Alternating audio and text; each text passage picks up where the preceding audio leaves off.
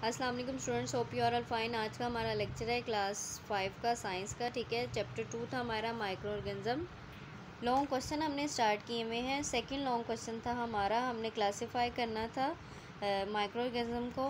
उनकी जो क्लासिफिकेशन थी शेप के हिसाब से स्ट्रक्चर के हिसाब से फीडिंग और हैबिट्स के हिसाब से, ठीक है?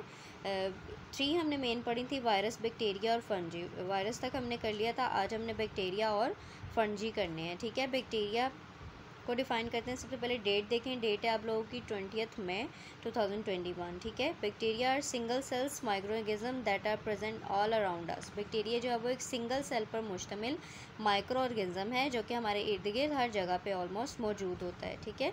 आगे पॉइंट्स हैं further they are found in the air water and soil इसे हम हवा, पानी और मिट्टी किसी भी जगह में ढूंढ सकते हैं। कहीं भी ये पाया जाता है। फाउंड इन मतलब पाया गया है, या पाया जाता है। They they are of different shape ये अपनी शक्ल के हिसाब से मुख्तलिफ़ होते हैं।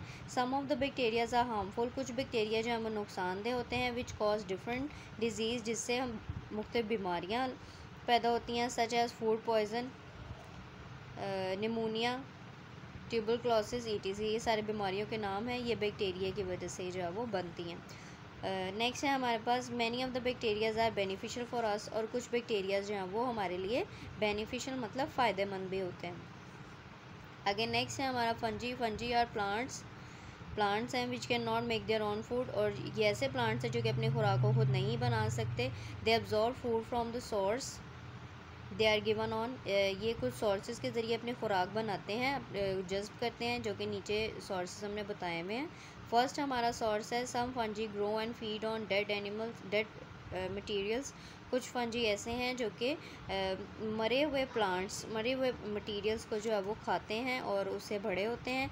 While other feeds on living thing living plants and animals और ऐसे प्लांट्स भी खाते हैं और एनिमल्स जो कि ज़िंदा होते हैं लिविंग होते हैं।